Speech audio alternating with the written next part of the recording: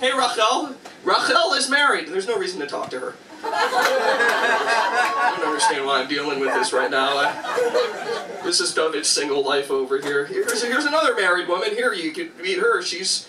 That's, I guess that's the only thing that I have. The only thing that's positive nowadays at my age is that the divorce rate is up to 80%. I don't even understand. I don't even know what's going on on my date. Seriously, the last date I went on, the only question that I can think of that was of importance was, "Hey, have you frozen your eggs?"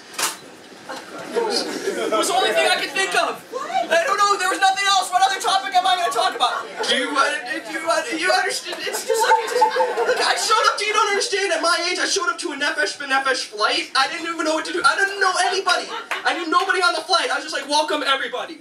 That's all you do when you're single and you're as old as I am. You just do whatever you can. You even go on dates.